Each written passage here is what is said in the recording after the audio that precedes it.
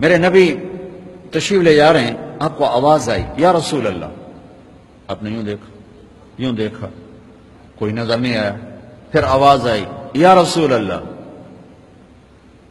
دیکھا تو ایک ہرنی گلے میں رسی چار پائی سے بندھی ہوئی، وہ آپ کو پکار رہی تھی۔ آپ قریب آئے، کیا ہے؟ کہ آپ کا صحابی مجھے پکڑ کے لایا ہے۔ میں اللہ کی تقدیر پہ راضی ہوں۔ مطلب ذبح کی جاؤں۔ لیکن میرے چھوٹے چھوٹے بچے ہیں۔ وہ بھوکے ہیں۔ اگر آپ مجھے چھوڑ دیں، میں ان کو دودھ پلا کے واپس آ جاؤں۔ تو آپ نے فرمایا، اگر تو واپس نہ آئی تو پھر؟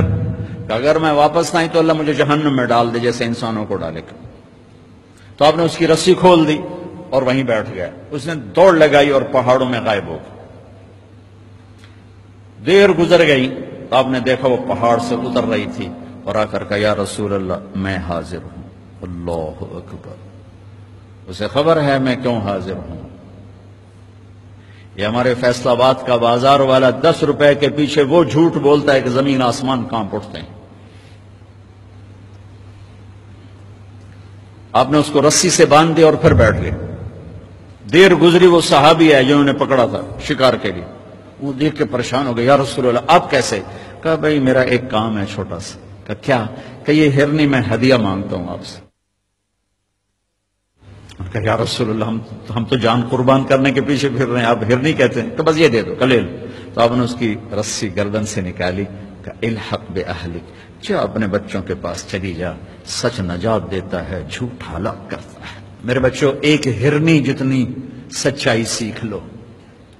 اپنی زندگی سے جھوٹ نکالو، اگر اللہ کو پسند آنا چاہتے ہو۔ نہ تہجد پڑھو، نہ اشراق پڑھو، نہ اوابین پڑھو۔ فرض نماز کا تو معافی کوئی نہیں۔ اس کی تو معافی کوئی نہیں۔ سچ بولو، فرض روزے کی معافی کوئی نہیں۔ مت رکھو تم نفلی روزے، مت کرو تم نفلی حج۔ فرض حج ہے، کرو۔ فرض زکات ہے، ادا کرو۔ فرض نماز ہے، نہیں چھوڑ سکتے۔ سچ نہ چھوڑو۔ سچائی نہ چھوڑو۔ جو قوم جھوٹ اور بدیانت کا شکار ہوتی ہے انہیں دنیا کی کوئی طاقت عزت نہیں دے سکتی۔ چاہے وہ تہجد گزاروں اور چاہے وہ دہری ہوں۔ اور جو قوم سچ اور امانت پہ کھڑی ہو جاتی ہے، انہیں کوئی شے ذلیل نہیں کر سکتی۔ چاہے وہ ایمان والے ہوں اور چاہے وہ تین سو ساٹھ پتھروں کے پجاری۔ ہوں اپنی زندگی سے جھوٹ نکال دو اللہ کے واسطے۔ لمبی چوڑی بندگی ہے میں نے فرض تو، فرض کے لیے تو میرے پاس کوئی چوائس کوئی نہیں کہ چلو اے کر لو تو اے نہ کرو۔ فرض تو فرض ہے، اس سے تو میں نکل نہیں سکتا، نہ آپ نکل سکتے ہیں۔ لیکن میرے عزیزو، سچے بن جاؤ۔ سچے بن جاؤ۔ دیانتدار بن جاؤ۔ دیانتدار بن جاؤ۔ جو وقت یونیورسٹی کا ہے، اس میں اگر آپ اپنے کام پہ جا رہے ہیں، تو یہ آپ بدیانتی ہے۔ یہ خیانت صرف یہ نہیں کہ تم نے پیسے میں خیانت کی، ٹائم کی خیانت ہے۔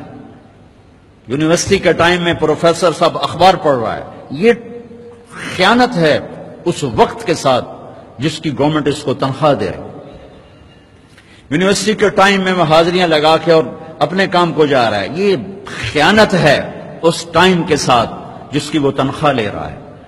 اس کو سرکاری گاڑی ملی ہے۔ اس کے بچوں کو اسکول چھوڑنے جا رہی ہے۔ یہ خیانت ہے۔ بدیانتی اللہ کی نظروں سے گراتی ہے، جیسے پتھر اوپر سے نیچے آ کر گرتا ہے۔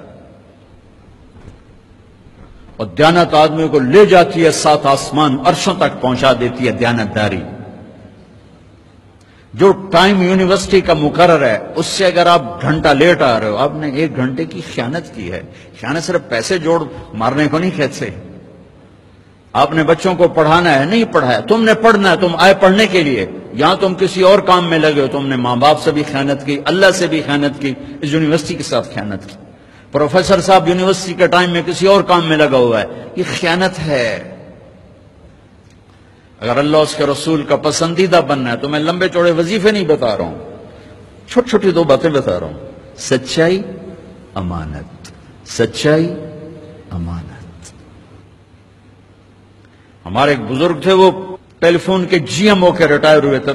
وہ تبلیغ کے بھی امیر تھے۔ جب وہ دفتر میں آتے تھے تو تبلیغ کا ایک بول نہیں بولتے تھے کہ بھائی یہ تنخواہ میں ٹیلی فون کی خدمت کی لیتا ہوں۔ یہاں کوئی تبلیغ کی بات نہیں ہوگی۔